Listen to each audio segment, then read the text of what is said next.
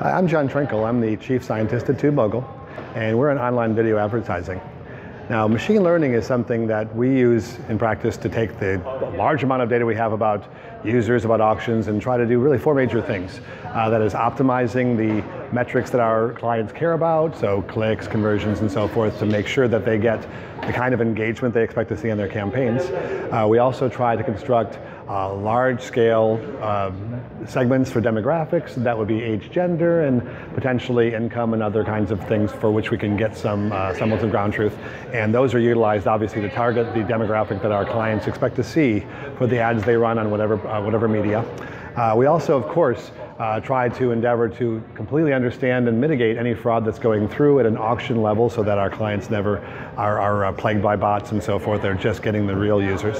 And thirdly, uh, a big emphasis in our arena these days is to actually focus on using machine learning to uh, understand that users are the same users across different media, uh, for example, mobile and desktop, so that we believe uh, with some probability that two users are the same, we actually can pursue them relative to um, incrementally increasing reach across different platforms, or actually uh, enabling, uh, say, an advertiser to frequency cap or distribute their campaigns across those, those media to best suit their campaigns that they're running.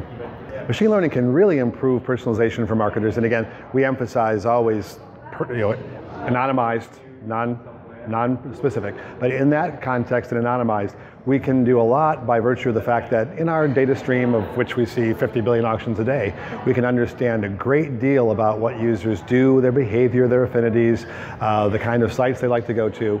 And in that context, we really can characterize strongly what users really have an affinity for, uh, what they uh, what things correlate to demographic segments or de their demographic um, age and gender buckets. Uh, um, we can leverage that data to really characterize users. And, and, recently we've been doing a lot of work in uh, an arena called word embedding, in which we can actually characterize users by what we call a compact distributed representation of that user. And in that context, we can do very strong lookalike models, and that would be any bank of users that you have. We can actually expand that out to uh, capture like users in, uh, in desktop or mobile. Uh, we can actually use it to do better prediction at runtime because these uh, concise signatures can be available at runtime. They're so small, they can be distributed with low latency.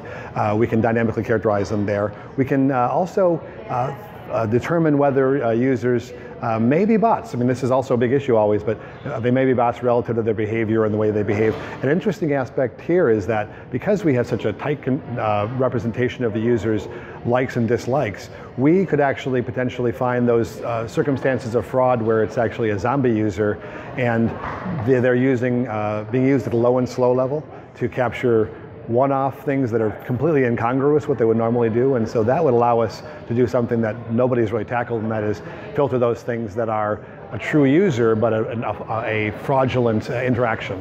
Uh, so that's very big deal relative to how we can represent users.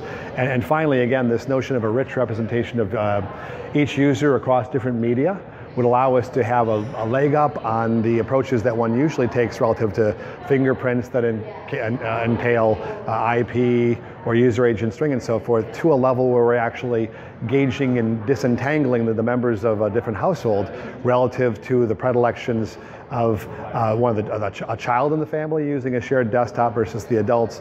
And further break down from a household level to an individual level how well we might target those users that are that are out there that we see in auctions. So it's a it's a wealth of things that we can do on personalization and and all that uh, in, a, in a fashion that can be more and more towards auction level appraisal as opposed to sort of offline or cached results. So in, in many ways, we're able to take this data, and because there's so much of it, we can really crunch it up, if you will, and have that available to really do comparisons that uh, previously were so arduous and time consuming they had to be done offline. Now they can be done there on the fly and allow one to personalize, not only expand personalization, but I'd say speed up and make amenable to greater and greater reach the personalization information we have for users.